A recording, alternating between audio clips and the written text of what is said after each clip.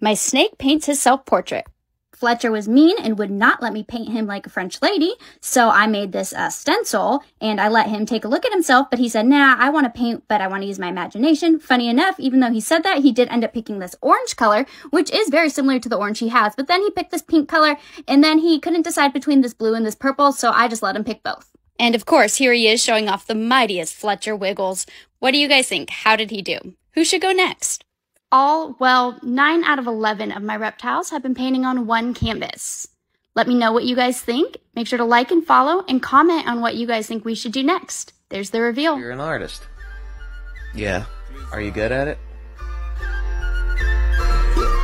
Yeah, yeah, yeah, yeah, bitch, I'm in my bag.